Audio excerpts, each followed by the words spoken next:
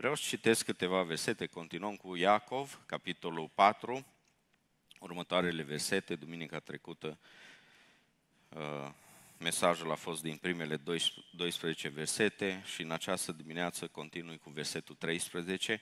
Haideți să luăm aminte la cuvântul Domnului care spune așa. Ascultați acum voi care ziceți, astăzi sau mâine ne vom duce în cutare cetate, vom sta acolo un an, vom face negustorie și vom câștiga. Și nu știți ce va aduce ziua de mâine. Căci ce este viața noastră? Nu suntem decât un abur care se arată puțin și apoi piere. Voi, din potrivă, ar trebui să ziceți, dacă va vrea Domnul, vom trăi și vom face cu tare sau cu tare lucru. Pe când acum vă făliți cu lăudăroșiile voastre, orice laudă de felul acesta este rea. Deci cine știe să facă bine și nu face, să vârșește un păcat. Amin. Ce frumos continuă Iacov uh, lucrurile practice și știm deja că această epistolă a lui Iacov este o epistolă unde uh, Iacov vine și explică mult mai mult ce înseamnă să fii un credincios și că credința noastră, după ce am, ne-am predat viața în mâna Domnului, această credință trebuie să se vadă și în faptele noastre, lucrurile pe care le facem. Și e extraordinar cum Iacov ne aduce fiecare domeniu din viața noastră. Ne spune cum ar trebui să fie credinciosul. Și începe cu credinciosul chiar trecând prin încercare, chiar trecând prin lucruri și circunstanțe care nu-i convin. El trebuie să aibă bucuria Domnului. Și cu asta începe Iacov. Și apoi ia fiecare domeniu, vorbește despre gura noastră, vorbește despre limbă, vorbește despre faptul că noi trebuie să avem înțelepciune divină și trebuie să fim într-o uh, constantă cerere și sub supravegherea și călăuzirea Domnului, cerându-i acest lucru. Doamne, călăuzește-mă Tu, eu vreau să fiu îndrumat de Duhul Tău cel Sfânt. Apoi vine și zice, creștinul în fapt cum trebuie să se comporte creștinul în familia lui, în societate, cum trebuie să se comporte în biserică cu frații, faptul că nu trebuie să existe certuri între noi. Creștinul nu are cum să se certe. E un nonsens să spui sunt copilul lui Dumnezeu și în același timp să am un nume în minte care mă râcăie când îl aud sau să trec pe cealaltă parte a străzii atunci când văd persoana respectivă. Nu există așa ceva. Asta ne spune Iacov. Dacă spui că ești copilul lui Dumnezeu, fiul de Dumnezeu, trebuie să se vadă acest lucru în trăirea ta. Tu trebuie să fii acel om cald, tu trebuie să fii acel om zmerit. Un alt subiect pe care uh, Iacov îl tratează uh, în această carte extraordinară. În această dimineață, Iacov continuă și ne spune, în planurile pe care le faci, trebuie să-L incluzi pe Dumnezeu. Și dacă ar fi să Uh, pun într-o propoziție toate aceste versete sau mesajul din dimineața asta ar fi în felul următor, ar suna într-o singură propoziție în felul următor. Viața este plină de incertitudini, viața este scurtă, dar Dumnezeu este suveran și noi trebuie să ne smerim.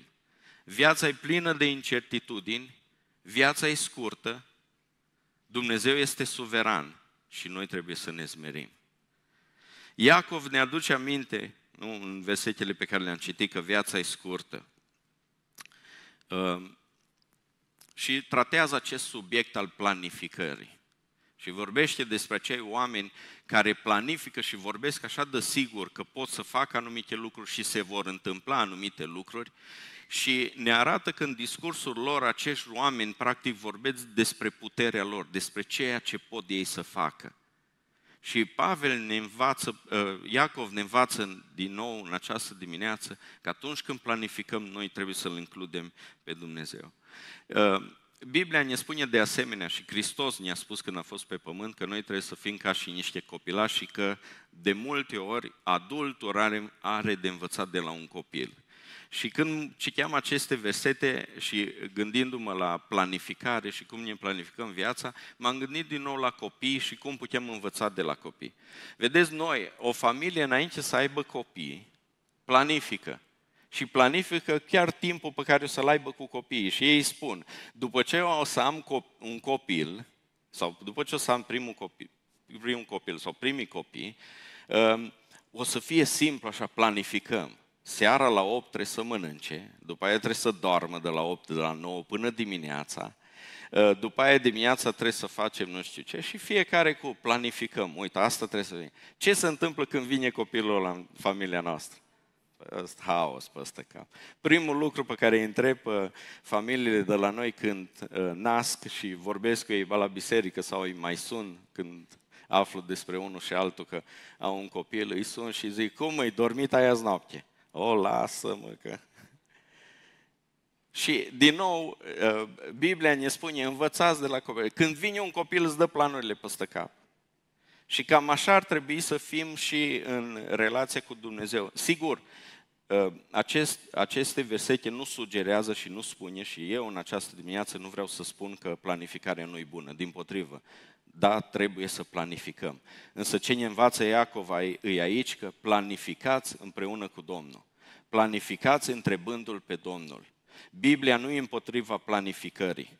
Și noi de cele mai multe ori, mai ales penticostali, îl văd pe Duhul Sfânt așa, unul care mână și adună.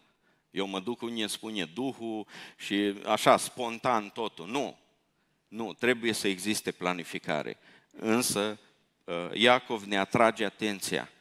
Planifică, dar întreabă-L pe Domnul să vezi care e voia. Sau cunoaște voia lui Dumnezeu și cunoscând voia lui Dumnezeu planifică viața. Cred că asta ar fi mai corect. Pentru că dacă cunoști care e voia lui Dumnezeu, vei ști și cum să-ți planifici viața, ce să faci și ce să nu faci. Nu vă închipuiți, ne spune Pavel, că vă puteți controla total viața. Pentru că controlul total este în mâinile lui Dumnezeu. Amin? Trebuie să pornim de la această afirmație. Nu-ți imagina că tu poți să-ți controlezi viața, total viața, pentru că controlul este în mâinile lui Dumnezeu. El este suveran, El este Domnul, El este Creatorul. Așadar, continuă lista cu încă un păcat pe care oamenii pot să-l facă în trăirea lor.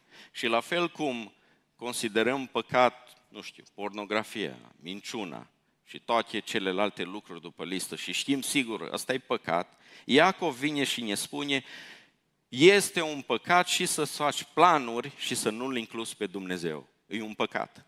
La fel, egal cu celelalte, cu minciuna și cu toate celelalte. Este un păcat, vine Iacov și ne spune, a te încrede în forțele proprii.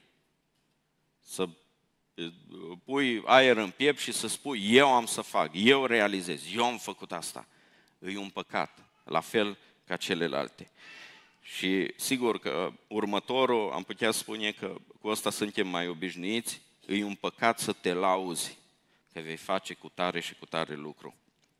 Sigur, toate astea sunt un păcat, fără să ții cont de Dumnezeu și să acționezi uh, independent de El. Atunci când acționezi independent de Dumnezeu, este un păcat. Și începe cu versetul 13. Iacov ne prezintă imaginea omului care și-a întocmit un plan complet pentru viitor, pentru viitorul lui. Și planifică viitorul.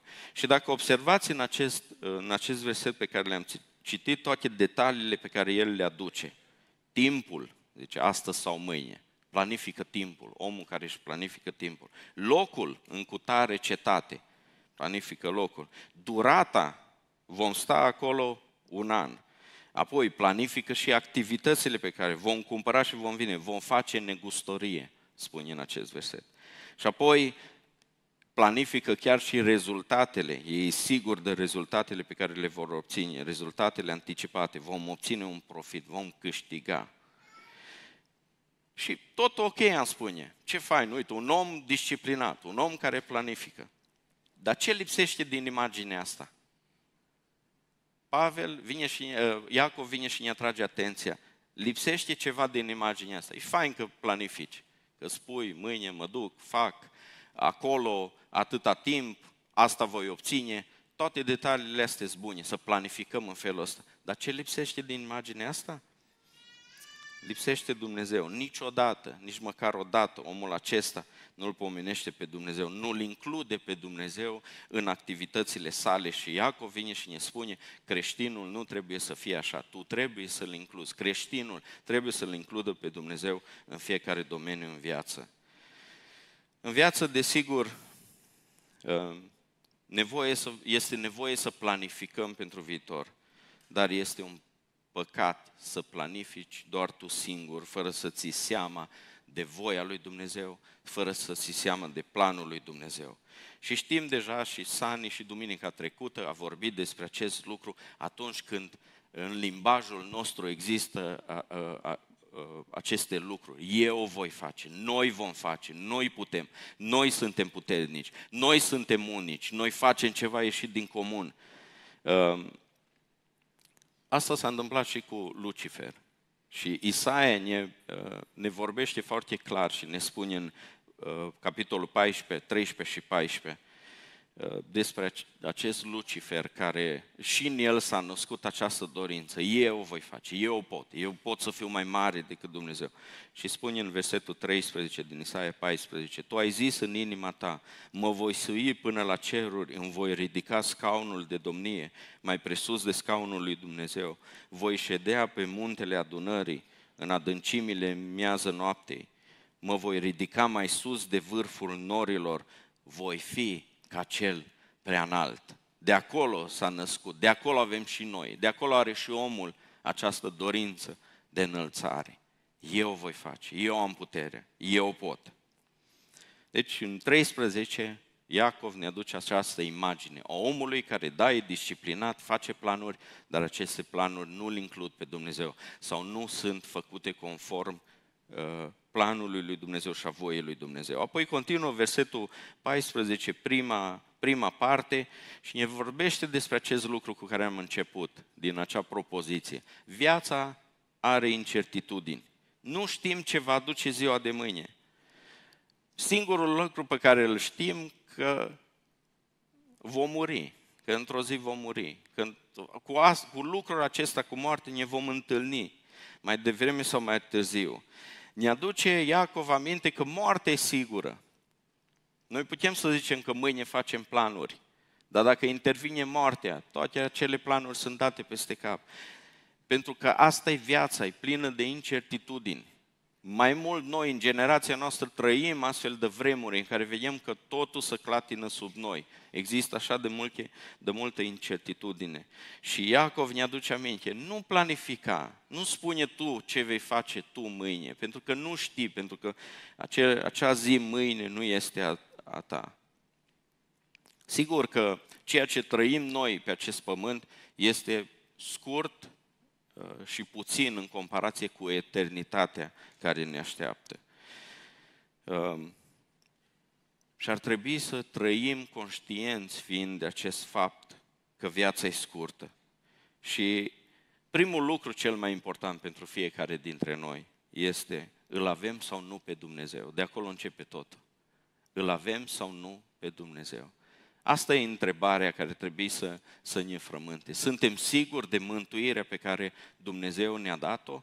Îl avem pe Dumnezeu în inima noastră? Pentru că atunci când acest lucru este un fapt în viața noastră, îl avem pe Dumnezeu, atunci vom ști cum să planificăm, ce planuri să facem și cum să facem.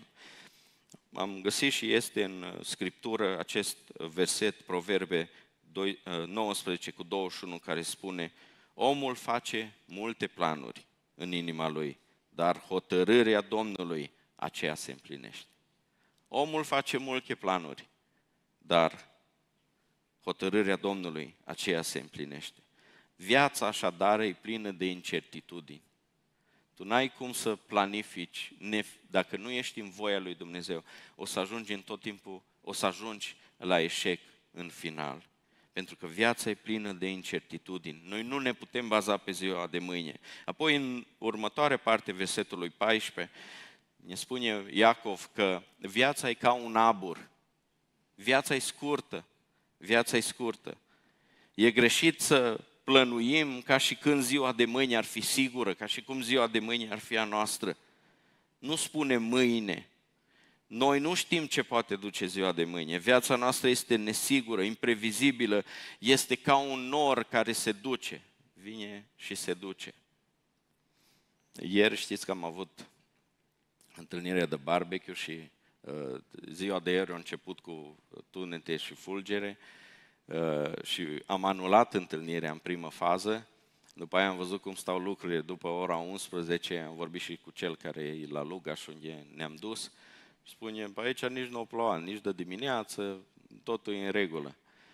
Și cumva, cel puțin eu mă simțeam vinovat. Cum am anulat? Au fost și întâlnirea unde ne-am înscris, cred că cei mai mulți, aproximativ 150 de persoane.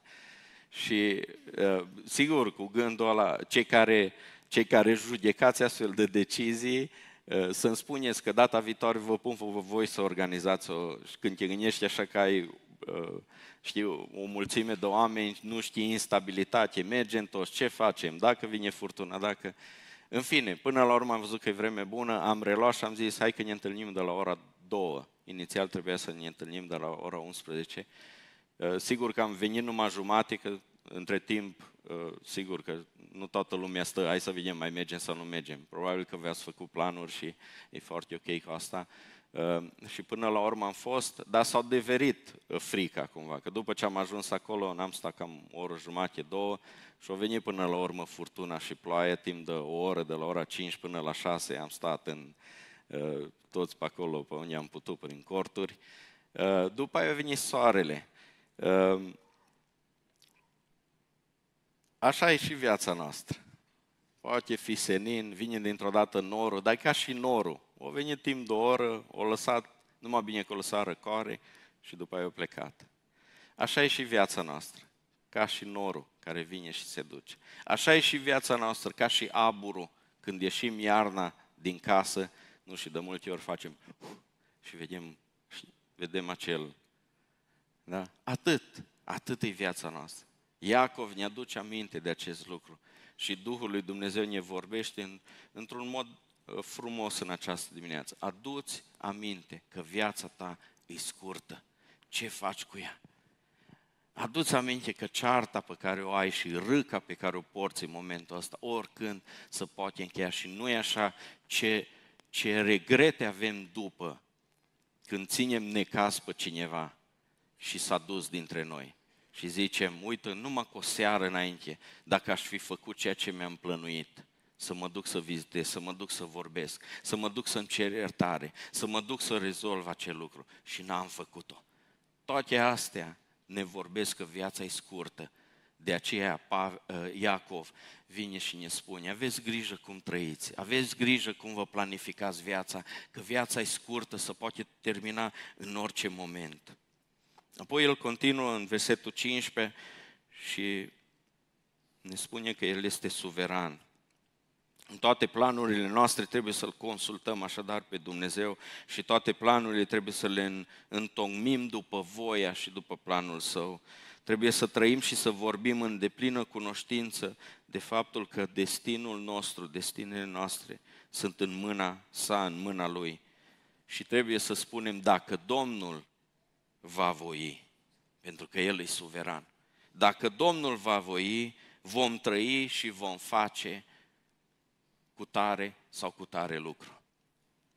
Înainte să-L, să-L cunosc pe Domnul în adolescență și sigur și după aceea până când relația mea cu Dumnezeu s-a consolidat, îi auzeam pe cei în vârstă și pe cei de la, da, mai în vârstă, de la Șuncuiuș, din zona aia, și când mă duceam la biserică și totdeauna auzeam limbajul acesta la oamenii din vârstă. Dacă va voi Domnul, dacă o fi cu voia Domnului, o mere, o înveni și o face. Și auzeam, și mă râcăia un pic, dar păi, nu, așa ești când ești tânăr, știi, consider că ai toată viața înainte și zilele satale. Și era așa, bine am așa de pocăit ești tu că tot timpul tă cu voia Domnului, tot dacă e voia Domnului. Dar pe măsură ce înaintezi în viață, nu, parcă lucrurile tot mai, să petrec tot mai repede și încep să vezi altfel lumea și îți dai seama că chiar așa e, dacă Domnul va voi, numai atunci vei putea face cu tare și cu tare lucru. De aceea ar fi extraordinar să adoptăm în limbajul nostru, în, în vorbirea noastră, uh, acest lucru. Dacă va voi Domnul. fă planul, gândește la lucrurile pe care vrei să le faci. Sigur, acordează aceste lucruri cu planul și cu voia lui Dumnezeu. Dar spun, nu spune niciodată că tu vei merge, tu vei drege, tu vei face, tu vei împlini, ci dacă va voi Domnul. de la când am început, de când am început această uh, serie pe Iacov și știți încă din prima duminică, vă spuneam, haideți să citim constant această carte, măcar o dată pe săptămână, pentru cei care vreți ceva mai serios, o dată pe zi, să poate citi cartea asta, nu durează 15-20 de minute în fiecare zi, pentru a, a ne învăța cu acest, acest limbaj și cu acest, această modalitate de a gândi și de a vedea viața și o persoană tânără din biserică care a început să facă asta, nu a trecut o săptămână și deja, apropo de asta, dacă va voi Domnul, o adoptat în limbajul lui și întotdeauna zicea, mâine mă duc să nu știu ce. Și când eram și eu de față în discuție, zicea, dacă Domnul să vrea, o să mă duc să, să facă. Dacă Domnul va îngădui, voi face acele lucruri. Și mă, ați văzut cum să, să poate schimba limbajul nostru. Și ăsta ar, ar trebui să fie limbajul unui creștin atunci când vorbim despre lucrurile care le facem. Dacă e cu voia Domnului, vom trăi și vom face cu tare și cu tare lucru.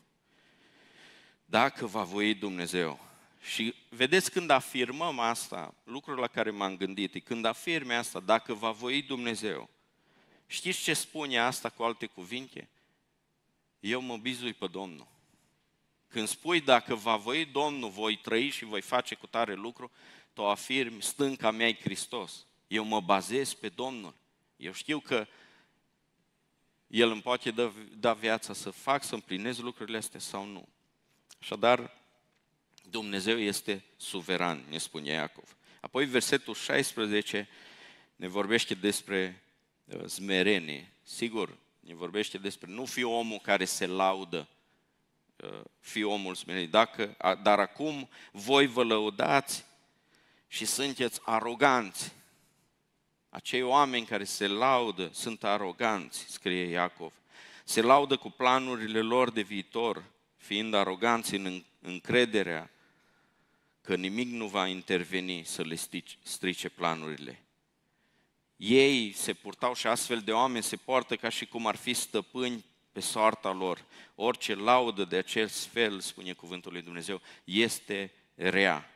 Nu vă lăudați cu lucrurile pe care le veți face, pentru că nu aveți garanția că le veți și putea împlini.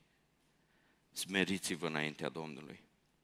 Și apoi continuă cu versetul 17. Deci, cine știe să facă binele și nu îl face, păcătuiește. Iar în acest context în care vorbim noi, în contextul acestor versete, a face binele înseamnă a-L include pe Dumnezeu în planul tău.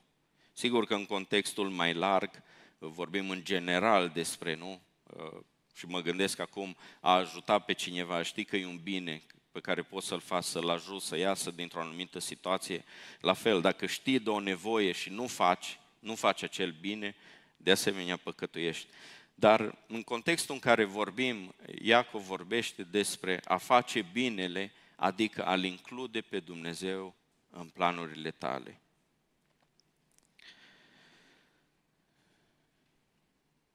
În tot acest capitol 4, din care am vorbit și în această dimineață, încă de la început, ne Iacov ne aduce aminte despre uh, să nu fim lacomi, să nu avem conflicte, să avem atenție la vorbirea noastră și acum la final să avem grijă cum ne uh, alcătuim planurile, cum ne întocmim planurile.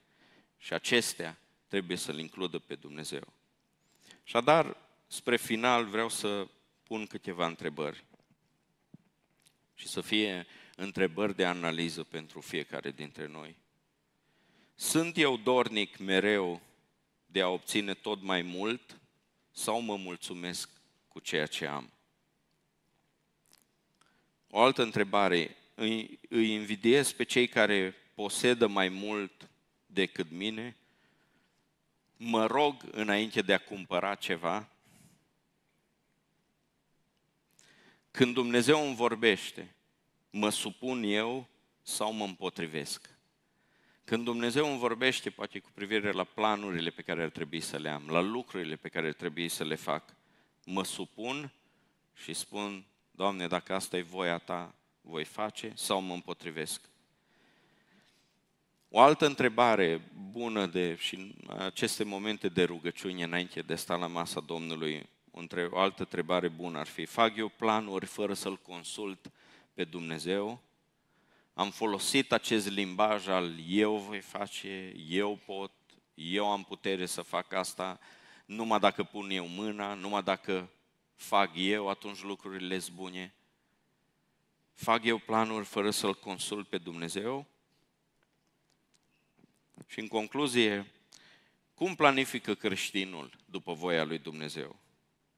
În primul rând, nu-L neglija pe Dumnezeu, nu-L scoate pe Dumnezeu din planurile tale. Proverbe 16 cu 3 spune, încredințează-ți lucrările în mâna Domnului și îți vor izbuti planurile. Încredințează-ți lucrările în mâna Domnului și îți vor izbuti planurile. Dacă suntem în dimineața asta aici și recunoaștem că am greșit, este un moment prielnic și bun să ne pocăim. Dacă ne-am bazat pe înțelepciunea noastră, că am greșit în acest fel, crezând că noi facem lucruri, că noi planificăm, că noi suntem tari, că noi suntem buni, haideți să ne zmerim înaintea Domnului, să ne pocăim. De asemenea, haideți ca în această dimineață să căutăm, să ne încredem și să-L ascultăm pe Dumnezeu. Caută, încredete și ascultă-L pe Dumnezeu.